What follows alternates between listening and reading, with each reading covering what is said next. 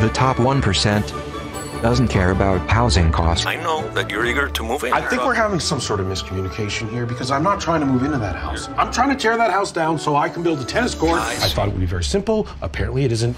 Dumb Money, exclusively in theaters. Rated R.